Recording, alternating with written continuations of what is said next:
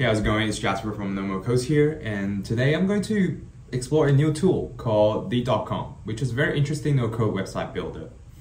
And in this quick video, I'm going to show you how you can use iframe to bring your 3D creations into the .com uh, from Spline, which is another no-code uh, 3D creation tool that I really love.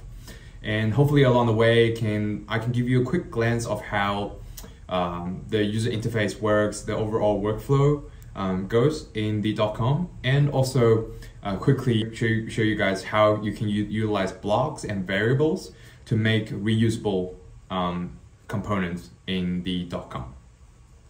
So upon entering the um, main user interface, I'm going to first create a new site. And when I'm in this new site, you see the bottom panel, which can be resized and docked anywhere on your screen. Um, this panel is basically our main interface to design our website with. Everything is configured in this panel.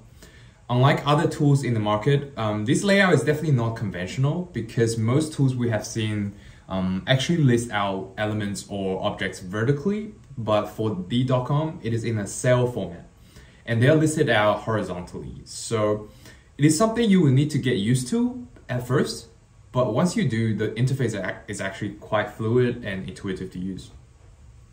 And we can make a new page with this plus button. Um, obviously, the new page will have nothing to start with, so we can either add elements, which are the most basic unit of um, objects that you can add onto your page, or you can add blocks, which are pre-made um, one or many elements that you can reuse anywhere on your project. As you can see, I have no blocks made yet, which is what I'm going to make now. So let's go back to the worksheet, which is what I consider the home editor page for you. Um, and we are going to add a new block. I'm going to name it spline iframe. And inside this block, I am going to add an element. And I'm going to search for iframe here. And when the iframe is added, you can see that there is an input field that needs to be filled in. Uh, this is basically where you put your spline URL or any iframe URL that you want. Um, in my case, I will head to spline, um, generate a URL, and then copy and paste this iframe URL into the input field. Um, we can see that the iframe is working and it is showing our 3, 3D creation from spline. Okay, but the iframe is quite small. I would like the iframe to take up the whole screen.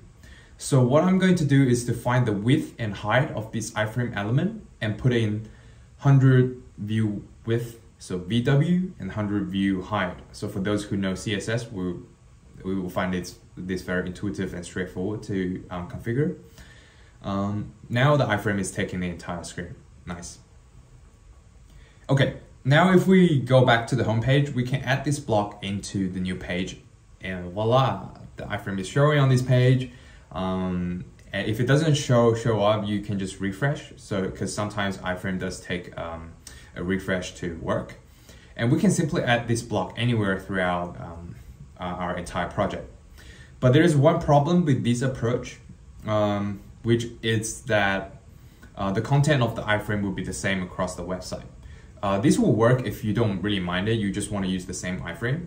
Um, but what if I want to change the content of this iframe. So I want the iframe styling to take up the whole screen, the styling to stay consistent, but the content to be dynamically changing. So if I want to change the content, I can quickly change it. With the current setup, I would need to go into this block and change the URL from this input field manually. Um, but this would mean that all of the iframe block uh, that uh, across my website would be changed. What if I just want to change one? How can we make this thing dynamic? Um, this is where variables come in. So by making a variable, by making the URL uh, a variable, every time you reuse this block, you can just dynamically change the content, which in this case is the iframe URL. Uh, we can add a variable by clicking on this button down here. And then I'm going to call this variable iframe source. And once this is set up, you can see that in this input field is now showing equal to var iframe source. Now, if you use this block on your page, you can just, you know, input your iframe source in this cell. And after refresh, the iframe will be showing the content accordingly. So with variables, every time you reuse the block, you will need to input a um, iframe URL. So it's more dynamic, but um, I guess if you don't mind the iframe to be the same everywhere across your website, you don't need to use variable. But this is a very quick way to make your block more modular and reusable and ultimately to improve your efficiency if you want the style of the block to stay consistent but content to be dynamic. And there you have it. Um, it is a quick look at the.com uh, and the, the workflow and how the interface will look um, and how you go about making a block, make it reusable, and make it dynamic with uh, variables. Um, if you're interested, give this tool a try and let me know what you think of this tool. Also, let me know if there's any topics that you would like to learn um, and I will make a tutorials on those topics. Um, so last but not least, don't forget to subscribe and follow me on Twitter. I really try to be, I'll try to be more engaged um, on Twitter. I'll post more and engage with you guys more. So if you want, follow me over there. And until next time, ciao.